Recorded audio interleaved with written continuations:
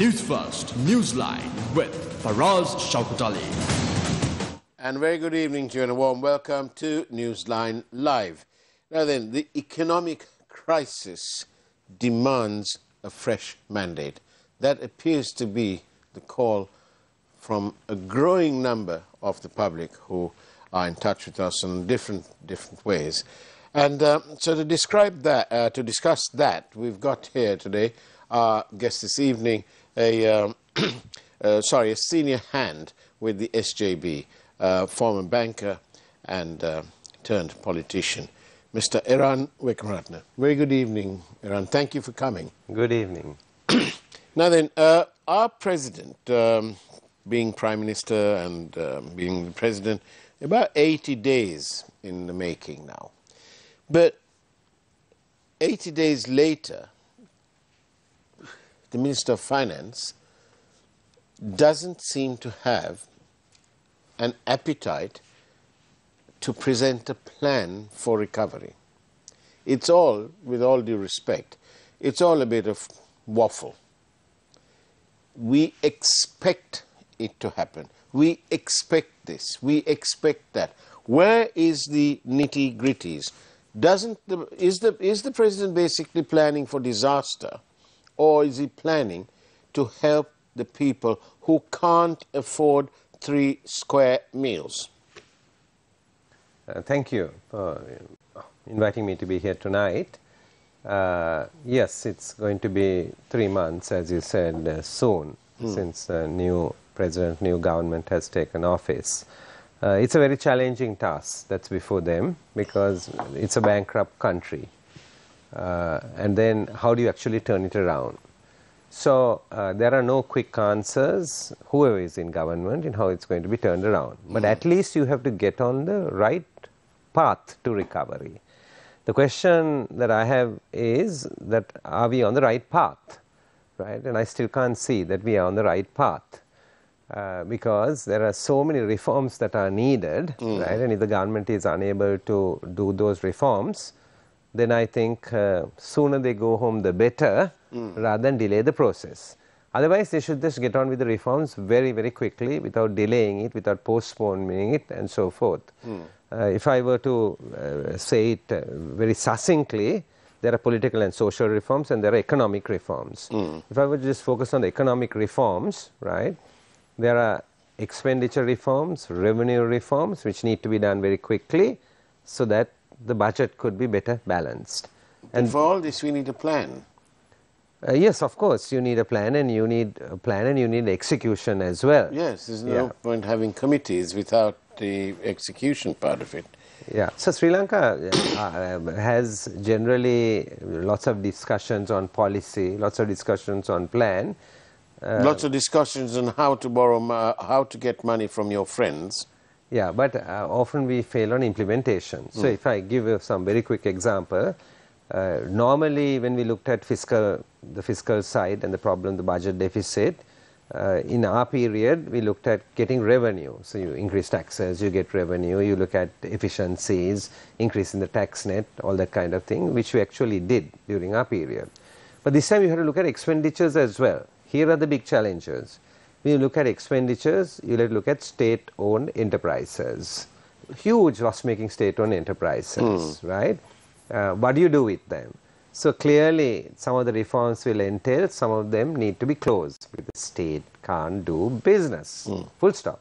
Some needs to be closed because otherwise the taxpayer is paying for it. And as you said, lots of people are suffering, lots of people have problems with income right? And uh, then why are they paying for these loss-making enterprises? So Sri Lankan Airlines is one of those, this big question, right? Uh, Sri Lankan Airlines, if I would say it very quickly, 1949 to 1998, basically losses. 1998, it was privatized till 2018. 10 years, taxpayer didn't have to pay anything. It made some profits, but it was out of the hands of the taxpayer, no burden on the taxpayer. Hmm. 2018, president decides to take it over he hands the management over President Mahinda Rajapaksa to a relative, right, as chairperson, and uh, then others. 28. 2008. Eight, yes, Sorry, 2008. 2008. Yeah. 1998 to 2008. yeah. Right. and then basically the uh, Emirates leaves, and after that, in the first few years, they make Emirates is a, sent back. sent back 100 and about 100 billion losses. Today, those losses have amounted to maybe around 300 billion or something. Hmm. Now, what it actually needs is, right, what we mean by it should be in private hands is two things. We need capital. So, if the government can't put the capital, you need private capital too. One. Hmm. Second is management must be free, right? right? And these two need to be accomplished. So, state owned enterprises reform is needed. So, one is Yeah. some of it you will have to close, some of it you will have to get private capital, some of it you can do public private partnerships. Then public sector reform has to be done, right? And public sector reform is huge. Take for example defense expenditures. Defense expenditures are huge, right? The, if you take the expenditure in our budget on education and health together, it involves defense, right? It's equal to defense. So defense expenditures, something basically needs to be done about defense expenditures. Then public sector employment, something needs to be done about that. So expenditure reforms, these are the hard decisions that Ranil Wickremesinghe, the new president, hmm. has to take. There's no point talking about it because if he can't go the reform route and actually change things around, then I think the legitimacy of parliament is at stake. It's already at stake, surely. It's already at stake, but because he was a new president, you know, people are giving a certain. Well, I mean, uh, 80 days is a long time for a company, uh, for a country facing such a serious uh, economic crisis uh, to give as a sort of honeymoon period. Surely 80 days is a bit much.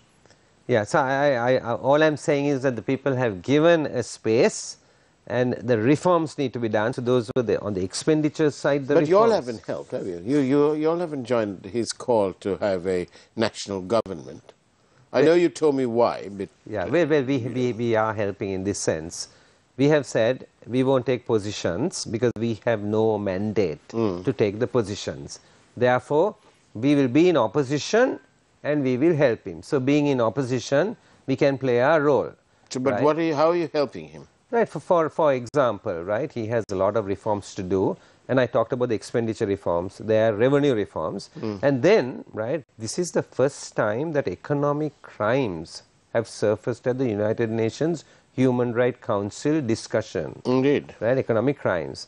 Then in the IMF, right, at the early stage, it has been highlighted that there is corruption and there should be measures put in to basically uh, minimize corruption, right.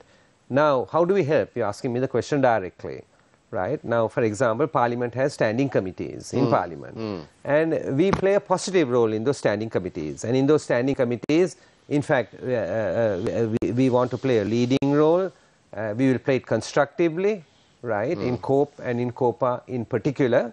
And uh, also, we, the, the Committee on Public Finance has already begun its work, but the other two committees haven't been appointed over these three months, right? Uh, uh, but they are uh, basically to begin work this week, and they have an important work uh, work to do, and particularly in COPE, which I have been involved. Uh, that's where wastage, corruption, mismanagement, all comes in there of these institutions, and there are about 350 institutions. Billions and billions of losses are being made, and there's corruption, and therefore uh, we will play our role positively there, right, in COPE, because it affects the poor person in this country in particular, but it affects everybody, because taxpayers are paying for that corruption and for that mismanagement. But, uh, why is it, um, Eran, uh, Wickramaratne, that when the World Bank, the IMF, and uh, say the ADB even, when they're talking with the government of Sri Lanka, why can't they suggest, instead of demand, suggest something to control political funding? The root cause of corruption is when it comes to political funding. We need some laws to control that. Yeah. Something on the lines of maybe Singapore's uh, Political Donations Act. Yeah. So, so uh, certainly that is one of the laws that needs to be brought in, uh, and uh, it's about you know funding political parties and individuals in their campaign. uh, that law needs to be brought in because if the law is not brought in, uh, the declarations won't happen, the limits won't come in.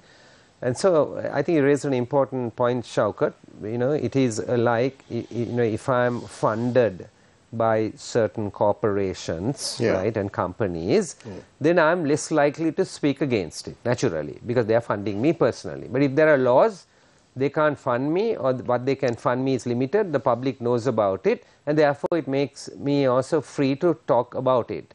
And that is why, right, now for example, you take COPE, which I said I was involved in, Yeah. right, uh, we, we have some institution comes before us. Why aren't you the chairman of COPE?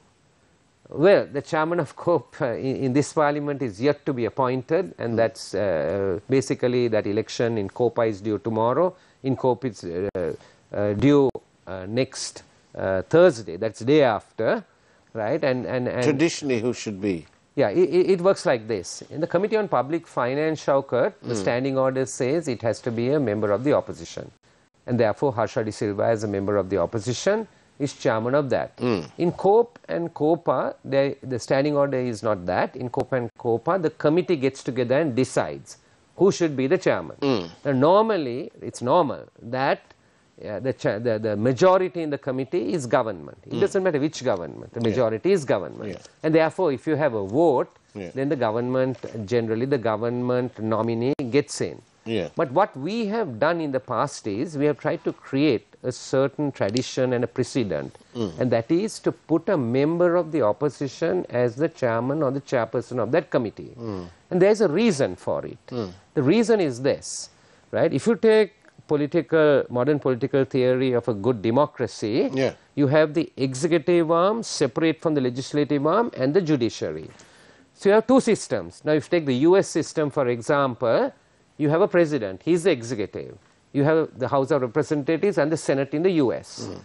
But the president, once he is elected, he brings his cabinet from outside the House of Representatives and the Senate.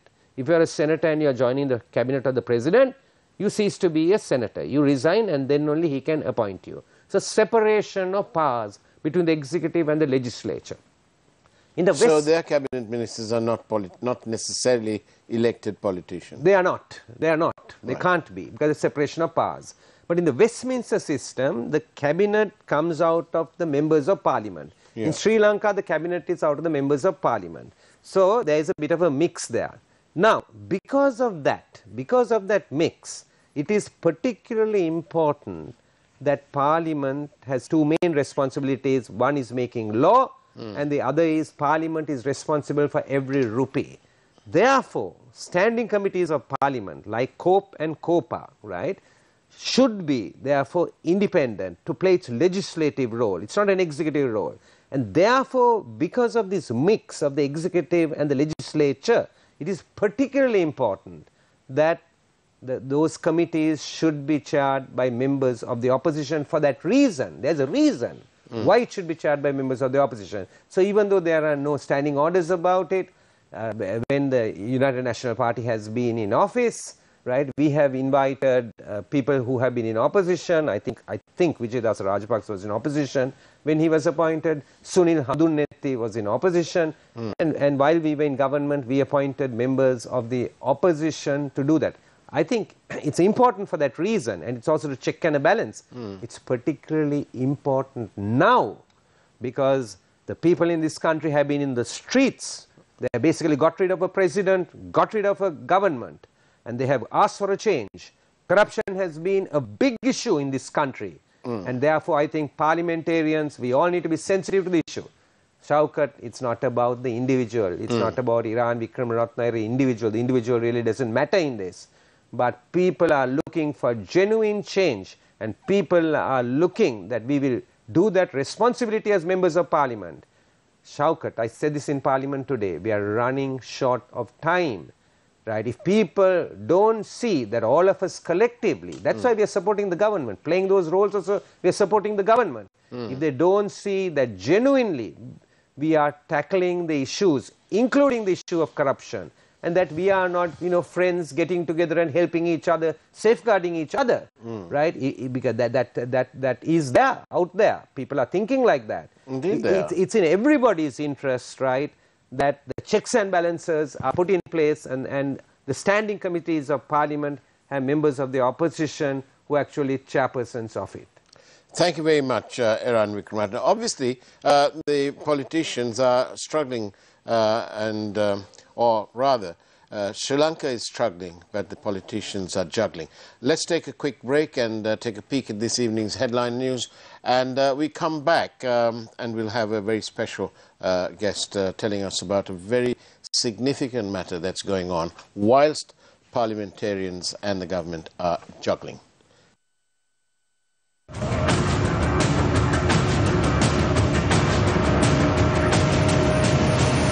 News First, Newsline with Faraz Shauketaly. A trusted place for your fixed deposit. Valuable FD. 25% for two months. 25.5% for four months. Valuable FD. The symbol of stability. Water cannons and tear gas on IUSF protest march against suppression.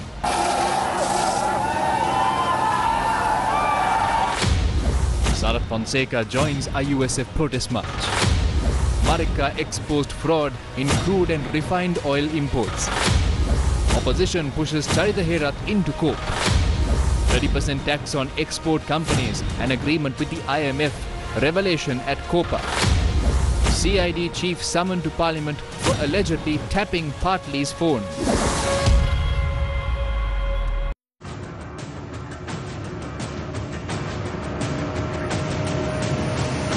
News First, Newsline with Faraz Shauketaly.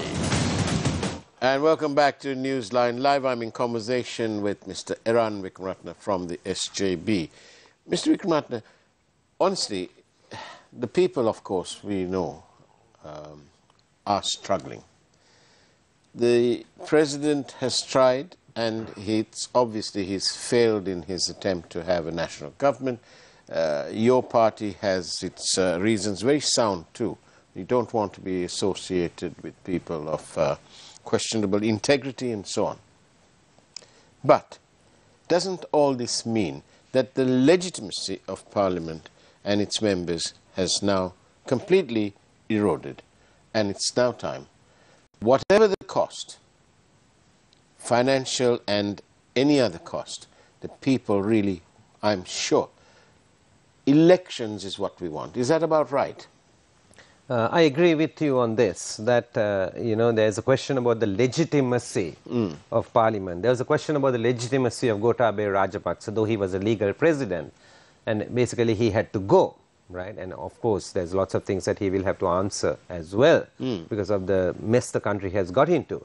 Similarly, there are questions about parliament that people are asking, it may be legal, but is it actually legitimate?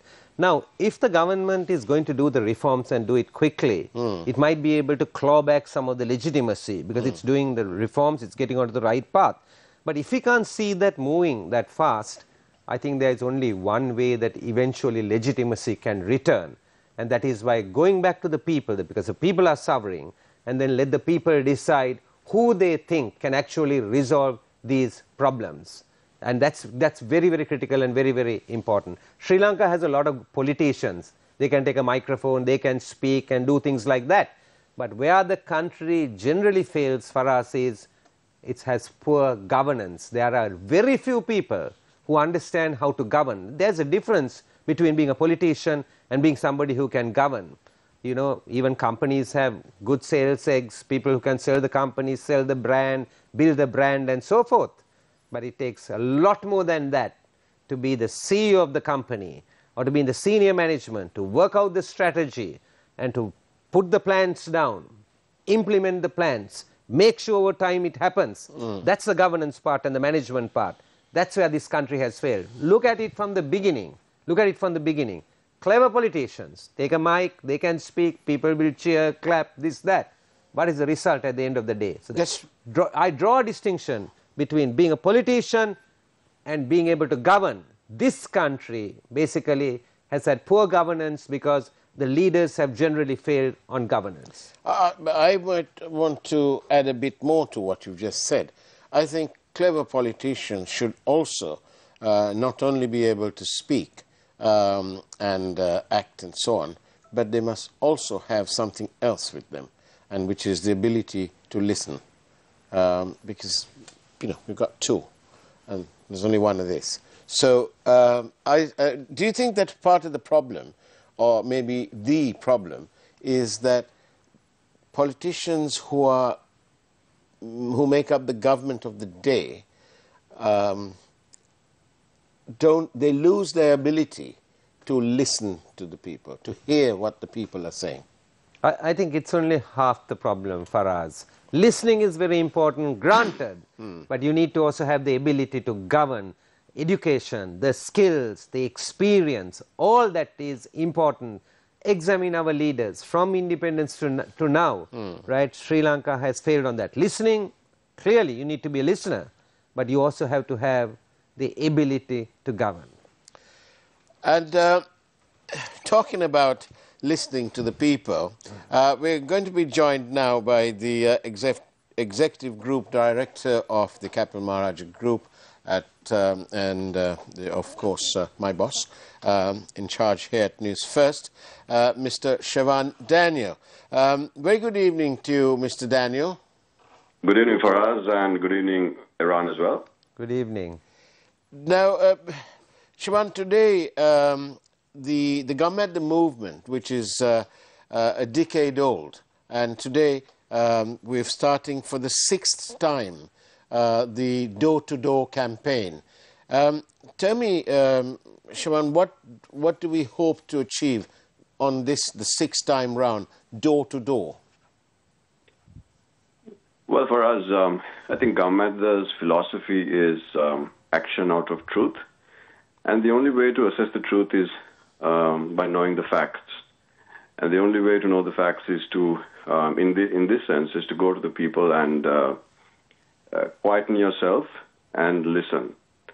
Uh, and the only way to do that is to go deep into rural Sri Lanka and spend time with our people, which we've been doing for years and years and years. Gammadda itself is over a decade now. And um, the late chairman, his um, challenge to us from the very beginning was uh, to keep our mouths shut and listen to the people, hear what they have to say. And we've been able to do that with the Peradeniya University helping us uh, collate the information that we uh, get from rural Sri Lanka and then turn that into um, usable information, uh, credible information, and then try to do what we can to resolve some of these perennial problems. And uh, we're very pleased to be able to go back to the village this year as well. We missed out last year because um, of everything that was going on, the restrictions. But this year, despite all of the challenges and all of the obstacles, uh, we we're very pleased to have been supported by some very important people, very key people, um, to help us and support us go to the village and um, do our door-to-door campaign for the sixth time. It must have been uh, uh, pretty significantly challenging, uh, the logistics in a country where we are challenged for fuel and so on and so forth. Uh, how, how have you managed to overcome this? Well, I think um, Gammadda has um, been functioning right throughout all of the lockdowns and um, everything else, all of the other challenges that we've faced over the past two years. We've actually accelerated our work. Accelerated our work. We've uh, managed to hand over hundreds and hundreds of projects to uh, rural Sri Lankans and Sri Lankan communities. We've been able to do this because the real strength of Gammadda is the people themselves. Uh, many of your viewers, for us, in fact, have supported us. And um, there's no one person or one individual or one corporate or company that um, is behind Gammadda. It's the whole of Sri Lanka, in fact. It's the smallest donations that mean the most to us. And because of that, we've been able to keep working and, uh, in fact, increase the amount of work that we do. And secondly, we have an absolutely amazing team that's motivated, full of young people who are just, um, you know, tearing at the bit in a sense to go down, go, go down to the village and do what they can to uplift um, our communities. So it's a combination of being supported by the people and also uh, young leaders who are very creative in how they overcome challenges and obstacles. And um, would you agree when we say that Gammadda is the people? Oh, yes, absolutely. Um, 100%. And I think that was what uh, was always uh, planned and the intention. Gammadda is far beyond just being uh, a CSR program. It's a movement now. In fact, um, that's emblematic in the fact that uh, international seats of learning like uh, Brown University, which is um, one of America's most prestigious Ivy League schools, um, has partnered with Gammadda and in fact is teaching its students about Gammadda.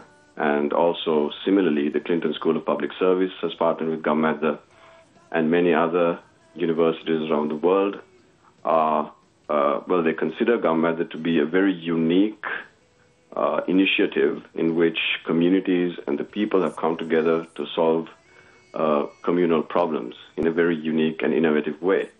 And I think the credit goes to the people of Sri Lanka, the communities that we work with, because we've never come across corruption or um, inefficiency. The people always ask for um, solutions to communal problems. You know, uh, in my experience traveling to thousands and thousands of Sri Lankan villages, it's very, very rare that we come across even the poorest of families that ask for something for themselves. They always point out problems that uh, will benefit solutions rather that would benefit the village, and that's something very special.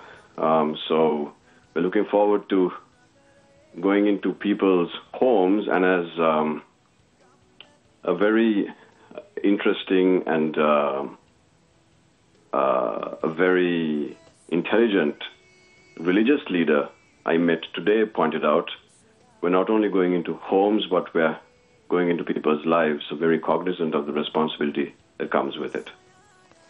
Uh, Daniel, thank you very much uh, for joining uh, Newsline and telling us all about uh, the latest door to door campaign being done by Gammadda to listen, to hear what the people have to say. Thank you very much.